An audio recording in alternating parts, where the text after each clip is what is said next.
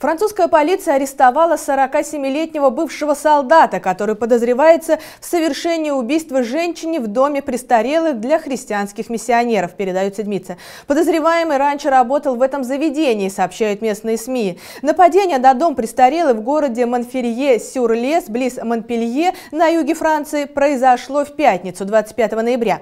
Нападавший был вооружен ножом. На месте происшествия полиция обнаружила тело убитой монахини, проживающей в этом этом доме престарелых. Преступник скрылся с места преступления. В момент нападения в приюте находились около 60 человек.